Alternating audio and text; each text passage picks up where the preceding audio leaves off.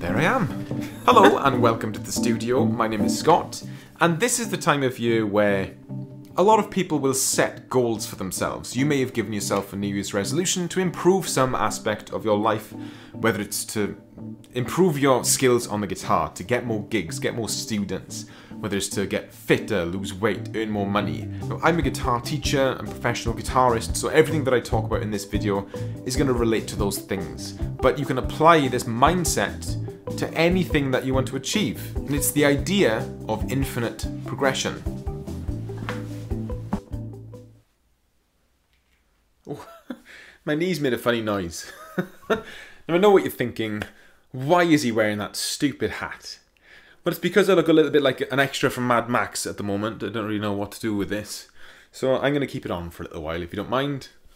So what is infinite progression? Well, it's the idea that you don't focus on an end goal. You don't have a specific goal in mind for yourself that when you reach it, you feel successful because you've reached that goal. Instead, you focus on the process. So here is you. You look like Doug Funnie, apparently.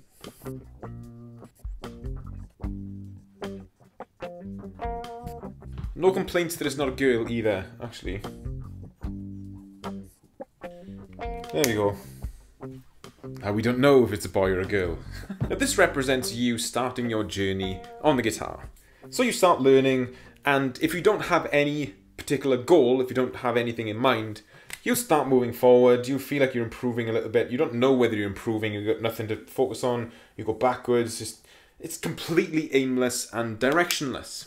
Now with a goal in mind, which could be up here somewhere, now you've got something clear to aim for. So you start playing, you learn things that lead to that point.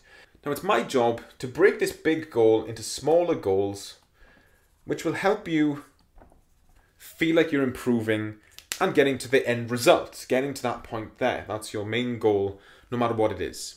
Now, achieving these smaller goals help motivate you to practice more. You feel like you're going closer to that. It could be getting a specific um, finger exercise quicker and quicker and quicker until it gets the speed that you need for a song. It could be being able to play a strum pattern a certain amount of times until you can play along with the full song. It could be something smaller, something bigger, like learning a full album. It could be writing your own song, your first song. It could be anything. But what happens when you get to that point? Now, this is something that happened to me.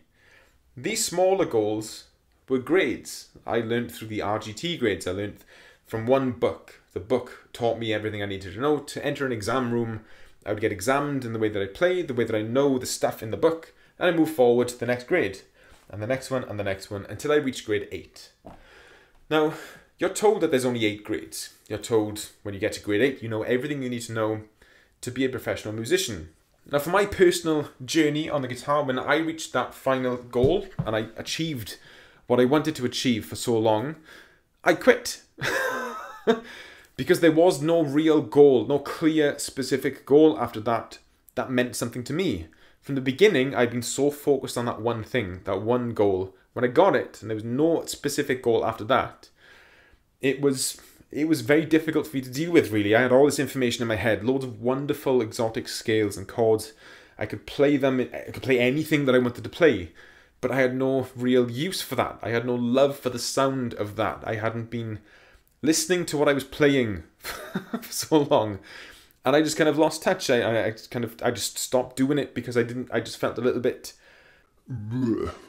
And that's something that I find happens with some of my students that achieve a lot, either quickly or at a very young age, where you know they're really goal focused. They're very driven, the same way that I was, and they get to that end goal and you don't know what to do next. You got nothing to to aim for after that, and that's the problem with being focused on the goal. Now the alternative is focusing on the process.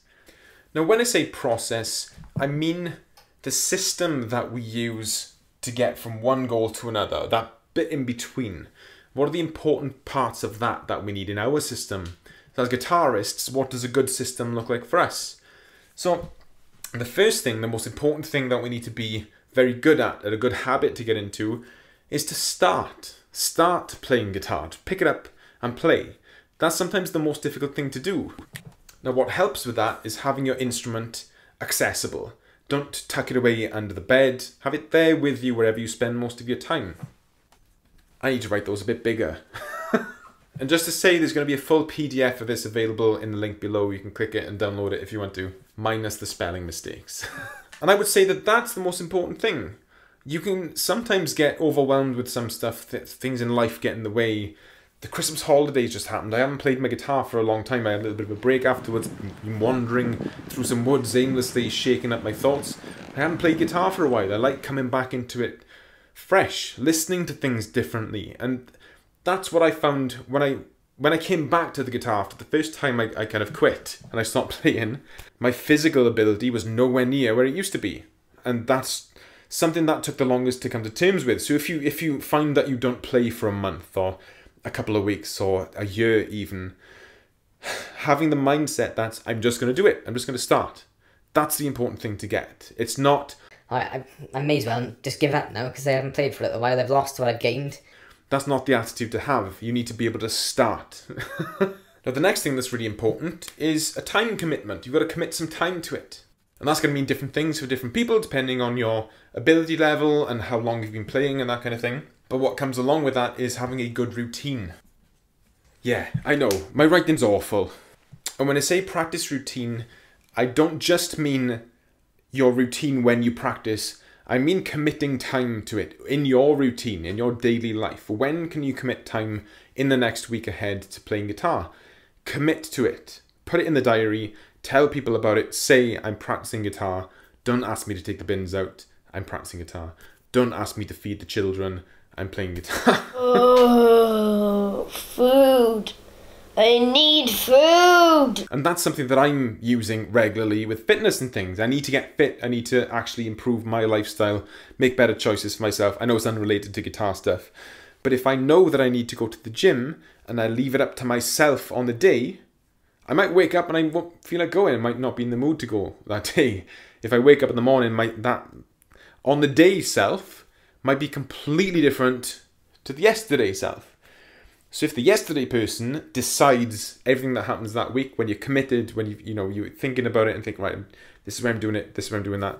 You wake up in the morning and you've already committed to that. You've already you've already you're already there. And the same thing applies to this. Fit it in with your day. Think about when you can fit it in, commit to it, and do it. And in my opinion, I feel like those are the important things for me. That that's what I find. Uh, I'm trying to teach people. That's what guitar lessons are with me. It's not about learning a song one week, learning a song the next week.